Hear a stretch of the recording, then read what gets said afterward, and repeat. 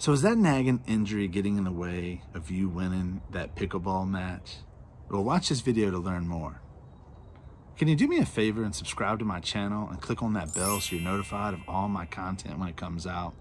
We put out information on physical therapy, health and wellness, Pilates, and gyrotonic exercise.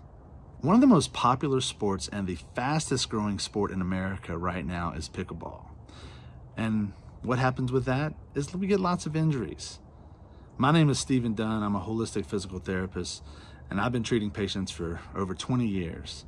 And in the last five years, I've seen a tremendous increase in the amount of patients that want to get back to playing pickleball. And I look forward to helping you.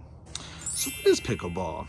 Well, according to the NPR article that I pulled up, pickleball is a combination of tennis, ping pong, and badminton that was invented in the 1960s, mid 1960s, in Washington State by a couple of dads, I think three dads. Well, it took some time, but now it has exploded and has become, again, one of the most popular growing, popular sports in America and the fastest growing. And now there are 4.8 million people playing pickleball in America. Compared to just five years ago, that number was half. So what kind of injuries do I typically see with people trying to get back to pickleball? Well, in my experience, I have seen lots of folks with back pain and knee pain. And sometimes they have both, and sometimes it's one or the other. Now, there's other things that I've seen as well, but those have been the most common for me. However, Dr. Andy that works with me, he might have a little different list of the people that he's seen. So with all the stop and go motions, all the lateral lunging and the lateral cuts. And then with all the spinal rotation, that's where we see, that's where, excuse me, I see most of my patients coming in from that situation that comes about with all the pickleball play. So what can I do to get back to pickleball at 100%? Well, the first thing you need to do is get an evaluation with a physical therapist so you can have your injury assessed and your musculoskeletal system assessed based on what has it done since you've had the injury to compensate and basically try to help you out, which is typically causing more harm than good.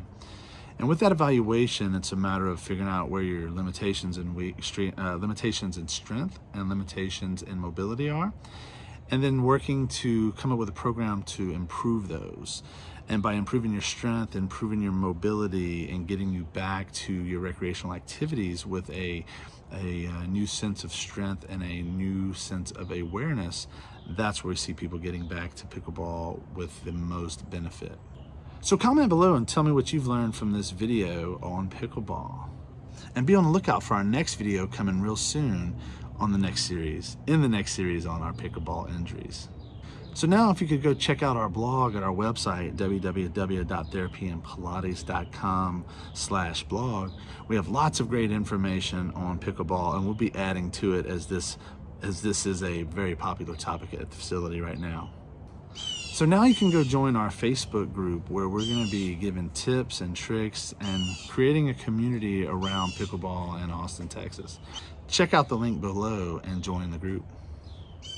Do you live in Austin, Texas? Well, give us a call at 512 215 4227.